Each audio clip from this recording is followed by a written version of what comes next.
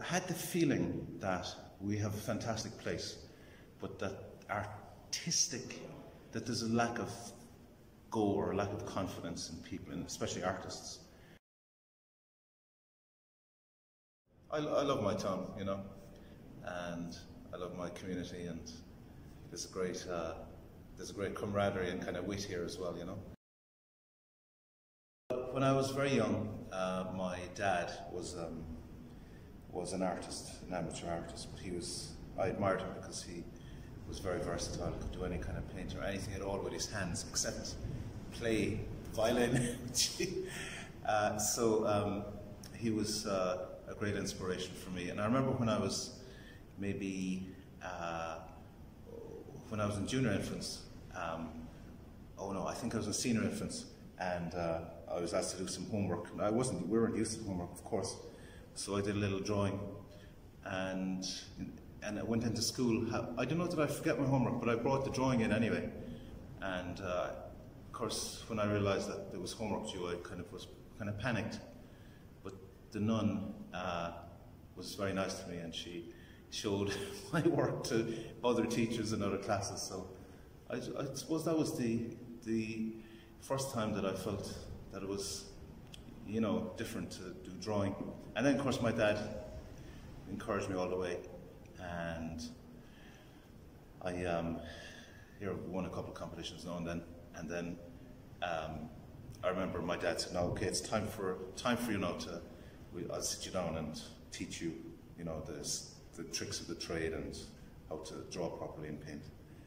And um, so he one Saturday morning, I'll never forget, he gave me a haircut with his with his scissors and uh, skinned me, of course, and clipped my ears, and then sat me down.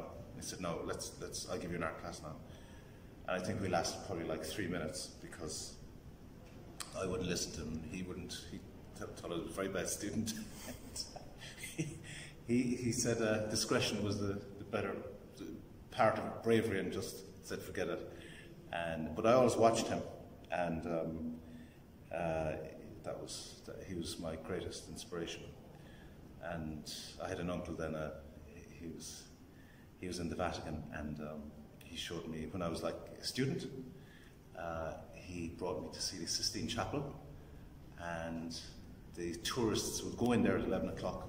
So we arrived in around 10.30 in the Vatican, lovely August morning, and um, he said, no, just stay there until I um, come back. And I was there on my own in, in the Sistine Chapel, and I, I was kind of a bit overcome. So then I lay down and I looked up at, in, from the middle of the, the, the, the chapel at, at all the, the works of Michelangelo. And it was kind of like, you know, I, I felt I was looking at something divine. And I was very lucky to be there. Michelangelo and myself and his fantastic works of art. And that was like a kind of moment that I treasure.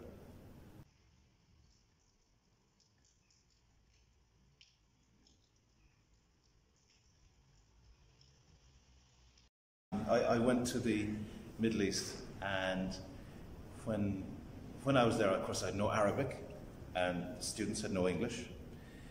I my purpose was to teach them. They had no interest in learning. They had no interest in reading. They no interest in words or books or anything got to do a challenge challenging. So um, I used to do a lot of drawing for them, and they proceeded to tear everything that I ever did from the uh, walls and I said, how am I going to get over this? So um, I started drawing marker drawings of physics and chemistry and biology as well on the walls of the class. And they could not tear them down. They began to light them. And that was the beginning of my mural work. But before that, um, when I was a young fella, uh, I used to like to draw people, and I couldn't, there was nobody would sit down for me because they'd always want to um, play football and stuff, you know, go outside, and they wouldn't, nobody would sit down and pose for me for more than 30 seconds. And uh, so then I was thinking I should maybe do it at Mass, and then my father said, You're mad. I didn't. And then the only other place where people sat down was in the court. So I went to Tralee Court, and I sit down, and draw people because they, they just sit still. They wouldn't uh, run away or anything like that, run out, play football. So um, then when uh, I gave up teaching in Ireland, uh, I started, uh, I rang a friend of mine who said, yeah, of course you should draw in the courts, you know, and uh, up in Dublin. So there was, uh, I went up to a court in, I think, January 2000 and, I don't know, it was 12 or 13? I can't remember what year. But there was a massive murder trial on, and it was, older viewers now remember this, it was Eamon Lillis. He apparently, he was charged with murdering his wife. And it was, it was a captivating case that went on for weeks. And the very first day that I went in, I um, got my, my, my work published in newspapers all over, the, all over the national newspapers. And then I was doing that like once or twice a week for five years in Dublin. And I, I sketched murders and rapists and paedophiles and cannibals and lawyers and everybody, everybody that could do, that is sit down. Yeah, so, so then I, I do, I, I like to do murals. I love artwork, and I've, I have an itch every morning to just draw and paint because it makes me feel happy, and if it makes other people feel happy, that makes it uh, fantastic. And also, um, I've met a whole lot of people through my art as well, more people than I can think of, and um, I, if I had any message for people, is to just follow your dream and have the confidence to do so because it will make you happy. And will also open opportunities for you as well. Because we, when I was a young fella, I got a place in the art college in Crawford, Crawford and Cork, and I didn't take it. My, my parents said, "Oh, sure, you, you can do that afterwards." So I went off and I did teaching, and I, I, I kind of half regret it in ways, you know. But now I'm back where I wanted to be, you know, creating art and stuff like that.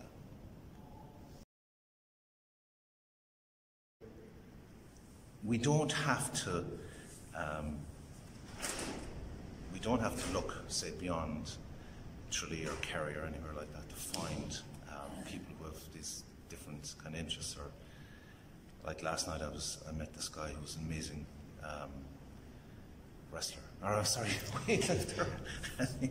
he would. Um, it's just remarkable, like the funny and interesting things that you find here Tralee, you know.